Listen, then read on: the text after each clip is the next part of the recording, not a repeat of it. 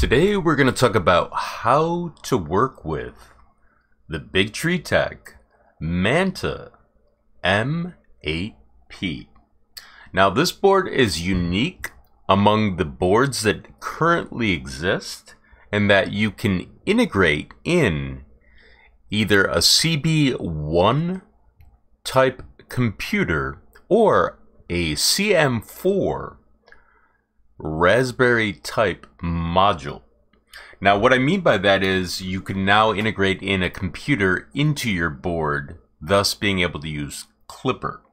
Currently, it's not available for Marlin to use Octoprint, but maybe in the future that will be an option. But let's uh, take a quick look here. First of all, we have our CB1, which is this uh, emulation or a different design of the CM4 that's made by Raspberry Pi. Obviously, I put two here just to show you the difference. One of them obviously is upside down right now. So the actual Wi-Fi port is located here, here, and over in here on the CB1. But the reason I'm saying that is I need to show you that there is a difference between these two boards and that uh, this one contains what's known as eMMC memory. And what that gives you is the ability to actually have your hard drive on your board so that you can actually communicate not using an SD card. But what I'm going to do real quick is just show you the general method to deal with this board and it's basically a basics tutorial. So if I pull this board out here, this is the CM4 module. It's very similar to Raspberry Pi 4. You can see there's plugs underneath. They actually connect over in here to the plugs that are here. Now the trick to installing this is to have the Wi-Fi antenna on the outside of the board. Then you'll just align them over the actual Kapton covers here and just push it down. That's how you actually connect the actual board to this. So let me run through some of the functionality of the board just so you know what we have. As you can see, there's eight steppers.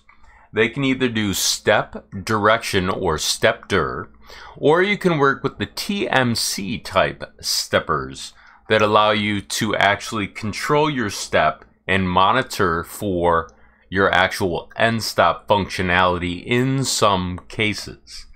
So what I'm saying is sensorless homing does exist for TMC, but it depends on your stepper. So you can either do SPI or UART type communication. Down in here, we actually have our end stop functionality, so they label it slightly different. It's M1 through M6, I believe. So let's see, one, two, three, four, five, and six. Those are your stepper options. These are probably going to be used for uh, filament runout detection. Down in here, we have EXP2 and EXP1. Over in here, we have our four thermistors to tell temperature for our hot ends. So you have the option with this to either do PT1000 or PT100 for sensors as well. Then you have functionality for either two RGB lights. And then, of course, we have various functionality for either ADC and other things, as well as your uh, BL Touch type sensors. And we have SPI pins in here. There's also a additional detector for an end stop type that you can put down in here, but uh, that's optional. So we're gonna talk about that probably in future tutorials as well. And then it has the Raspberry Pi type functionality of HDMI 1 and 2. You've got your USB type C. You also have Ethernet as well as two USB connections. Also note there's a power source over here if you place the jumper on here to USB power the board. In addition to that, we also have four regular fans that you can adjust either 5 volts, 12 volts, or 24 volts for power for your fans based on what you're using for power on this board. As you can see, this is where you'd actually connect the power to your board. They've labeled the outside of this. Also, you have motor power, and then of course you have your bed power as well for your output for your heat bed. In addition to that, we have three fans down here for the advanced fan types. I believe the Noctua type fans. And of course, there's other functionality that I'll cover in later tutorials. But uh, let me flip this over real quick so I can show the additional functionality. So down in here, what you can see is there's going to be sockets or ZIF sockets for the camera. There's also a display. And then, of course, we have two SD cards. This one is for the actual OS that would go on either your CB1 or your regular CM4 Pi. This one does not require it because it will use the eMMC on it. Now, when loading the actual firmware, which I'm going to show you in a second, you're actually going to use the eMMC, or excuse me, not eMMC, the MCU SD card over here. So to do that, I'll show you this real quick. We're going to grab an SD card reader. We're going to place our SD card inside of here, and we're going to place it inside the computer. You may hear a beep. Now we're going to go over to the actual Big Tree Tech website, and I'm actually going to search on the board under repositories. So I'm going to type Manta, and you can see it right here, so I'm just going to click on it. To download it, you're going to click Code Download Zip. This may take a second to actually download. Once that's been downloaded, you'll go over to your actual downloads folder, which is right here, and you have to extract it. So we're going to have to right click, and then we'll say extract all. Once we see that, we'll click the extract button. This will extract, and then we can go inside here, and we can actually see that we have the manual that we can actually read right here.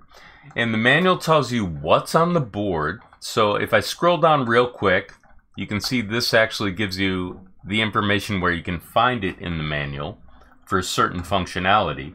But it will give you an outline of what's actually on the board. See, it has a 32-bit processor, and that processor is actually an STM32G0B1.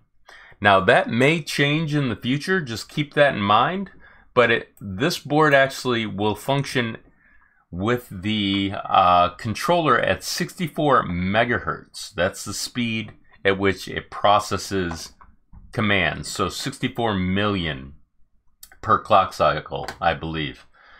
Then, of course, there's other functionality they talk about. They talk about the PT1000. It can also do a PT100, I believe, someplace in here. And of course, you have TMC type steppers that you can use for either SPI or UART, which I've already covered. So I'm going to minimize this for a second, and I'm going to actually show you what's in these folders real quick.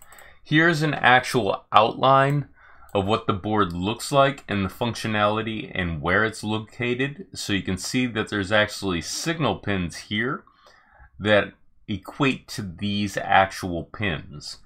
And then of course you have the fan power that's controlled up in here and they show it. So I'm not going to go into this too deep because I'll show it later on with the printer config file for Klipper, But I'll show you how to load the firmware. So if we go back into the folder over in here, we then go to the firmware folder. You can see the Klipper folder. Here's the actual firmware. They've already made it for you, so you don't technically need to make it yourself but I'm going to send it to my USB drive, which I already have connected here. And one of the issues that we have, let me delete this because that's from obviously a while ago, is we need to rename this in order to load it. So to do that, you're going to remove the actual dash USB. Otherwise, it will not work. Now what we'll do is we'll go back over to the desktop. We'll pop out the drive we'll then place the drive inside of here. We'll flip the board back over. And what I'm going to do is actually put the jumper on so we can power the USB for this board. So as you can see, it's now connected. Now I'm going to connect it with power from the USB and it's flashed the firmware. So we can verify that by flipping this back over, popping out the drive, putting it back in our card reader over in here, and then putting this back in our computer. So you may hear a beep again. And then we'll go back over to the desktop and we'll verify that it actually shows up. So give me a second to pull this over for you.